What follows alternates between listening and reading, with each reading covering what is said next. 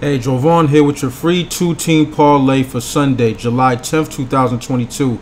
Now, you know it's a Pick Dawgz. We love giving out free picks, but if you want my best bets, the best that I'm putting in today, go to the website, pickdawgz.com, where you can find my or one of our other world-class handicappers picks for today. Now, let's run down this two-team parlay that I got for y'all. Now, first, we're going to go to Arizona, where the Rockies are facing the Diamondbacks, and we have Germán Márquez going for the Rockies and Tyler Gilbert going for the Arizona Diamondbacks. And, you know, these two pitchers, they give it up a lot. They let runs cross the plate like no one's business.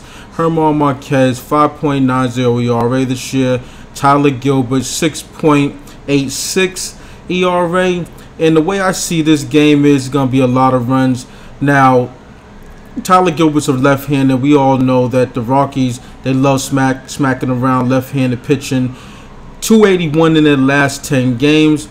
And I think for this one, you know, both pitchers are just going to give it up. It's going to go over this total, and the over is the play in this one. So the Rockies, Diamondbacks over. That's number one of my two-team parlay. Now, number two of my two-team parlay, we're going to go to San Diego, where the Giants are facing the Padres, and we have Alex Wood going on the mound, and he has a 5.03 ERA, and Mackenzie Gore with his 3.18 ERA. Now Mackenzie Gore, he's been giving it up lately, but not as bad as Alex Alex Wood.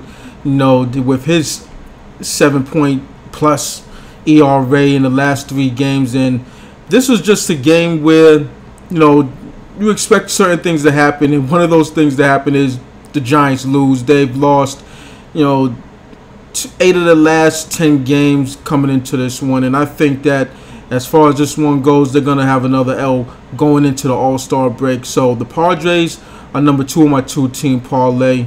Now, let's reiterate this one. We have the Rockies, Diamondbacks over, and we have the Padres. Book it, cash it, do what you got to do with it, but go to the website, pickdawgz.com, where you can find my or one of our other world-class handicappers picks. Now smash that like button. Let's get this money and hit the book where it hurts.